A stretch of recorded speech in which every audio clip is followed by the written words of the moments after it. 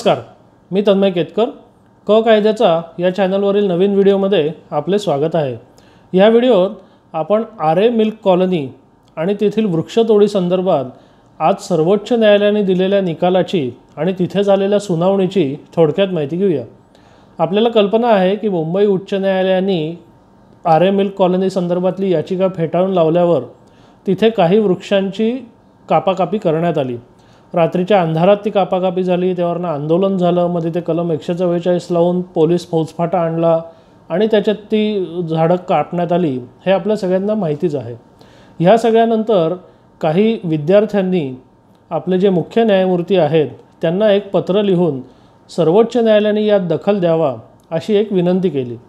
सर्वोच्च न्यायालयाने हे जे पत्र आहे त्यावरनं ह्या प्रकरणाची स्वतःहून दखल घेतली आणि सुओमोटो पिटिशन दोन ऑब्लिक दोन हजार एकोणीसनुसार आज या प्रकरणाची सुनावणी झाली. या सुनावणी दरम्यान काय काय झालं ते आपण आता थोडक्यात बघूया.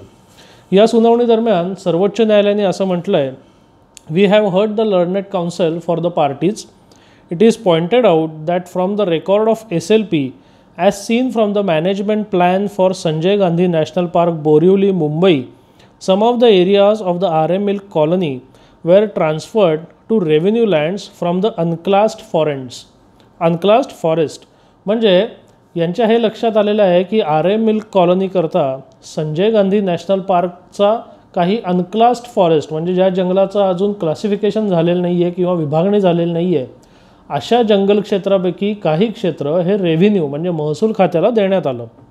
However identity of the area is to be establish by the petitioners though it was orally stated that the area in question fell in the unclassed forest.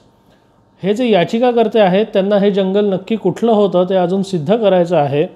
मात्र ते सध्या अनक्लास्ड फॉरेस्ट आहे असंच त्यांचं म्हणणं आहे. Solicitor general appearing for the state of Maharashtra has stated that they are not going to cut any further trees till the next date of hearing म्हणजे महाराष्ट्र राज्याच्या वतीने सॉलिसिटर जनरल सर्वोच्च न्यायालयात हजर झाले आणि त्यांनी असं ते स्पष्ट केलेले आहे की ह्या प्रकरणाच्या पुढील सुनावणीपर्यंत राज्य शासन आता अजून कोणत्याही झाडांची तिथे कापणी करणार नाही आहे the statement is quite fair it is stated that the incumbents who have been arrested have been released त्या सॉलिसिटर जनरलने पुढे असंही म्हटलेलं आहे की ह्या सगळ्या प्रकरणात ज्या लोकांना अटक करण्यात आली त्यांचीसुद्धा सुटका करण्यात आलेली आहे. It is further submitted that in case anybody has not been release so far he she be released immediately on furnishing personal bond त्यांनी पुढे असंही म्हटलेलं आहे की ह्या प्रकरणातल्या काही लोकांना अजून जर ताब्यात ठेवलं असेल किंवा अटकेत ठेवलं असेल तर त्यांनी किंवा तिने एक वैयक्तिक जातमुचलका म्हणजे पर्सनल बॉन्ड लिहून दिला की त्यांचीसुद्धा सुटका करण्यात येईल.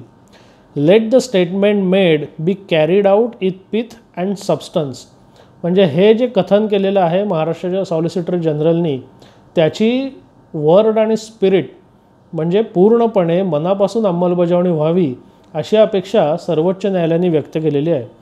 पुढे त्यांनी असं म्हटलेलं आहे parties may exchange the documents in the meantime as prayed this matter be listed before the forest bench on एकवीस ऑक्टोबर दोन हजार एकोणीस as the said bench is hearing the matter pertaining to similar issues in Godavarman case म्हणजे या दरम्यानच्या काळात या याचिकेत ज्या ज्या पार्टी सामील आहेत जे जे व्यक्ती आणि संस्था सामील आहेत त्यांनी आपसातली जी डॉक्युमेंट्स आहेत कागदपत्रं आहेत ती एकमेकांना द्यायला हरकत नाही.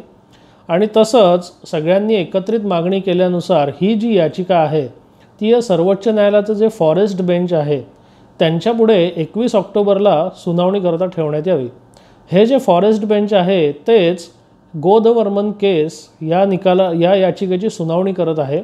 त्यामुळे त्याच बेंच पुढे किंवा त्याच खंडपीठापुढे हे प्रकरण नेणं हे जास्त संयुक्तिक ठरणार आहे.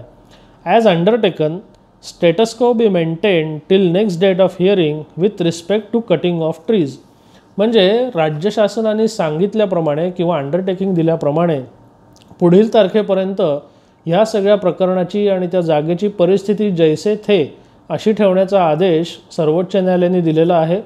साहजिकच पुढच्या तारखेपर्यंत म्हणजे एकवीस ऑक्टोबरपर्यंत अजून कुठल्याही झाडांची कटाई यापुढे होणार नाही. जोवर या याचिकेचा निर्णय येत नाही किंवा या याचिकेचा जसा काही निर्णय होईल त्यानुसार याची पुढची कारवाई होईल. आता आपण एक लक्षात घेतलं पाहिजे की मुंबई उच्च न्यायालयामध्ये सुद्धा आपण वारंवार गोदवर्मन केस याचा उल्लेख वाचला असेल. आपला आधीचा आर आय संदर्भातला जो व्हिडिओ होता त्यात आपण गोदवर्मन केसचा वारंवार उल्लेख ऐकलेला आहे. आपल्यापैकी ज्यांनी हे बघितलेलं नसेल त्यांना आय बटनमध्ये त्याची लिंक नक्की मिळेल. त्यांनी मुंबई उच्च न्यायालयात ह्या याचिकेसंदर्भात नक्की काय झालं त्याकरता तो व्हिडिओ अवश्य बघा. आता इथून पुढे काय तर एकवीस ऑक्टोबरपर्यंत झाडं कापली जाणार नाहीत. पण तसंच सरकारने असंही सांगितलेलं आहे की they are not going to cut any further trees म्हणजे बहुधा शासनाला जेवढी झाडं कापायची होती तेवढी झाली असावीत. असं सुद्धा काही जणांचं म्हणणं आहे. तर ते खरं आहे खोटं आहे आपल्याला कल्पना नाही. आपल्याला या चॅनलमध्ये फक्त आपण जे झालं जसं झालं ते आपण फक्त त्याची माहिती देत असतो.